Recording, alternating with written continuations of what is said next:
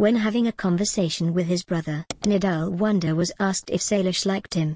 Nidal then remarked, I don't know, hopefully. Does she like you though? I don't know. Hopefully. I don't know. Hopefully. But, at the end of their conversation, Nidal tells Salish, I love you. Salish, I just wanted to tell you I love you.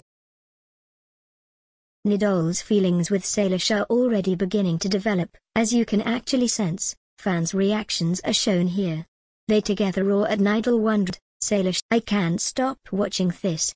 This is so cute. Today, we want to give Hair Habbies and Audrey Toller a special shout out. I really appreciate you watching.